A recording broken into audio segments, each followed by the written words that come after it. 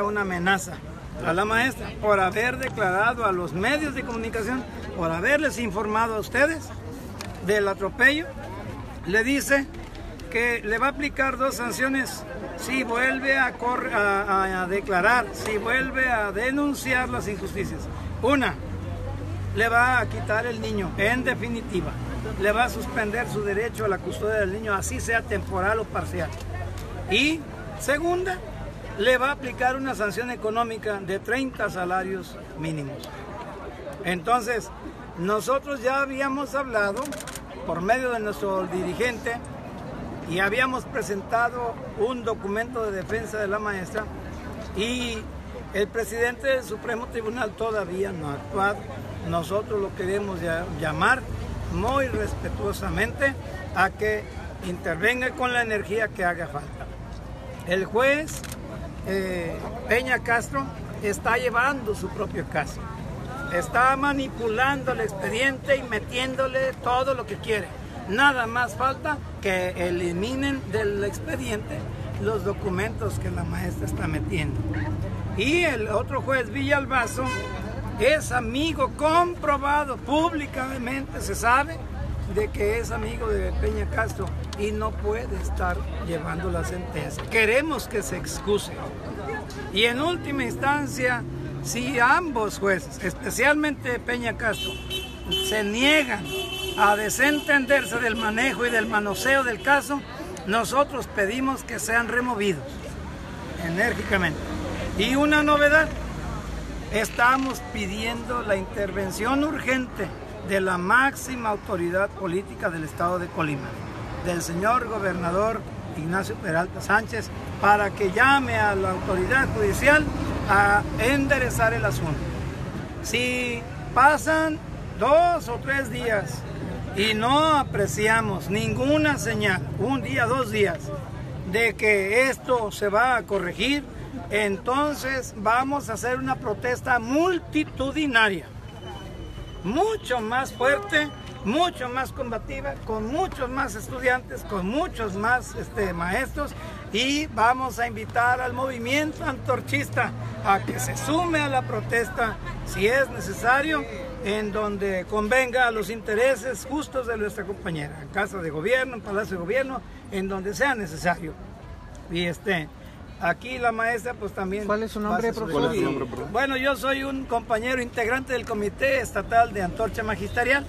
En ausencia de nuestra dirigente, la maestra Fabiola Maraveles, estamos representando a Antorcha Magisterial. ¿Y su nombre? Eh, soy el profesor Juan Manuel Gutiérrez Corona, disculpen.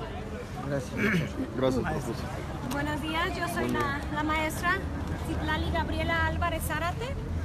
Eh, hace seis años procreé un niño con el juez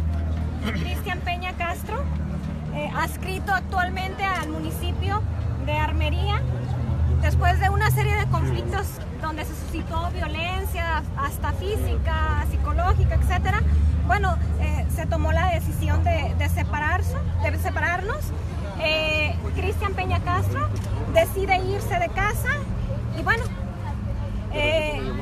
llegamos a un convenio, después de eso llegamos a un convenio donde la, guarda y custodia quedó a mi favor.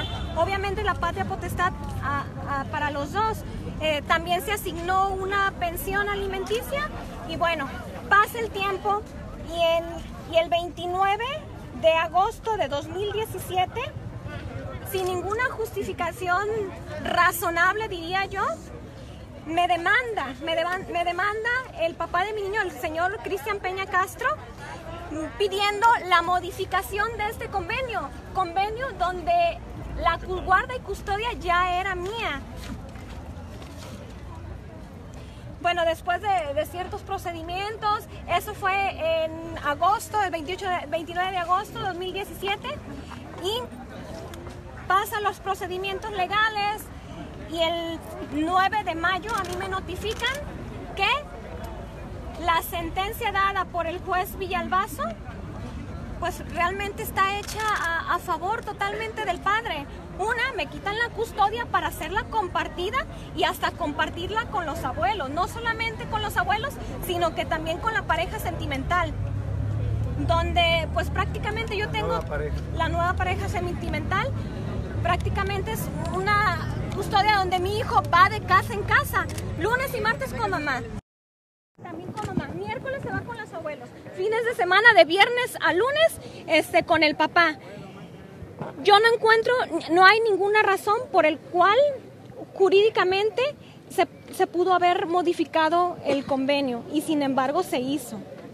Pedimos que el juez Villalbazo se excusara porque notamos una notable parcialidad hacia su homólogo. No quiso, el juez Villalbazo no quiso. Agarró el expediente y, y siguió acordando. Este, posteriormente, pues este, pasan una serie de situaciones. Tal parece que, que la ley eh, de parte de ellos la administran a favor de quien tiene amistad, de, de, de, quien tiene cierto poder. Y bueno, es hora que a partir del 9 de mayo que me dan la notificación de que se me va a quitar el niño, una semana después van y montan un, pues ahora sí que con una serie de personas, fuerza pública, va, va este que, que supuestamente es psicólogo, abogado, y me quitan al niño de la escuela yo no soy ninguna delincuente para que hayan tomado esa decisión. Bastaba con decirme, ¿sabe qué, señora? Este, tiene que entregar el niño, ya me habían notificado. Al contrario, el señor Cristian Peña Castra, abusando de, tener estas amistades dentro de, dentro de Poder Judicial, pues se lleva todo este aparato para, el, para la escuela del niño, me lo quitan y es cuando ahí yo yo ya no estoy dispuesta a soportar esa situación. ¿Cuántos años tiene el niño? Tiene, acaba de cumplir seis años. Seis años. Y la custodia era mía. El niño veía a, sus papá, a su papá. Yo estoy de acuerdo que conviva con su papá. Es, es inevitable. Yo soy una persona, es un derecho. Pero también es derecho de, de, que esté a cuidado de su madre. Y su madre tiene el tiempo disponible. Yo, yo trabajo por las mañanas y a partir de la una de la tarde yo estoy toda la tarde disponible. Y no es justo que se me quite a mí el derecho para dárselos a los abuelos, porque el señor Cristian Castro ni siquiera vive aquí en Colima, a base de artimañas o yo no sé por qué. ¿Cuál fue el, el argumento para hacer la modificación de este convenio? Ninguno razonable, ninguno razonable, supuestamente, supuestamente él decía que no tenía información de las cuestiones educativas y de salud del niño. Pero eso era, es falso. ¿El niño es falso. cómo está? Eh? ¿Usted había tenido ya eh, contacto con él a raíz de que sí, sí, sí. Bueno, el niño está sensible, sensible. Por ejemplo, voy por, el, por él a la escuela y me dice, mami, este, te extrañé mucho, me abraza. La maestra le dice, el niño le dice a la maestra que quiere a su mami durante la mañana de la escuela. También sí. eh, es importante decirles, eh, las maniobras que hicieron legalmente eh, están basadas también en una ignorancia, una omisión completa de la documentación que la maestra está presentando eh, con su abogado. ¿verdad? Eh, por ejemplo, hay una recusación y el trámite no podía ser, no podía ser que hubiera una sentencia ignorando la recusación de la maestra. Y en un momento dado el juez Villalbazo no pasa a la instancia correspondiente, al Tribunal Superior, no pasa el expediente con la recusación de la maestra, lo frena, lo la oculta, apelación. la apelación de la maestra y en un momento dado, si no hay apelación, pues ellos pueden hacer lo que se les antoje, ¿verdad? Y este, esa es una irregularidad que solita bastaría para remover al juez, ¿verdad? E incluso para castigarlos a ambos porque están actuando de consumo, ¿verdad? De común acuerdo. ¿Cuánto tiempo tiene el niño En esta- fuera de su casa en esa eh, alternativa de ir casa y casa y en casa? ¿no? A partir del 18 de mayo es cuando me, me recogen al niño de, de la escuela.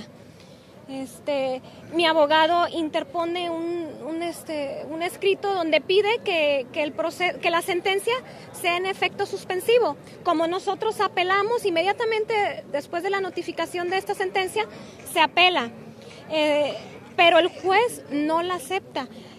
Pedimos el efecto suspensivo para en lo que se resuelva la, la apelación, pero no, no, no lo hace así y, decide- y deciden quitarme al niño.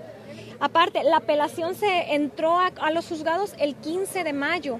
15 de mayo y es hora que no ha pasado la, la apelación al Supremo Tribunal. Se hablaba también de que le pues, amenazaron con, con ciertas sanciones por haber hecho una primera instancia Sí.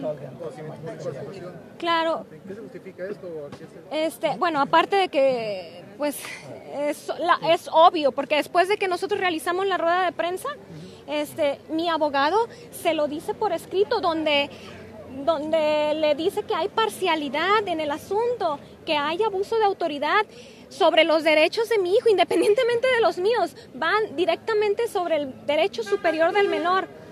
Entonces, este, el juez responde en un acuerdo donde me pide dirigirme con respeto hacia la autoridad y en caso pues de, no hacerlo me apercibe con la multa de 30 salarios mínimos.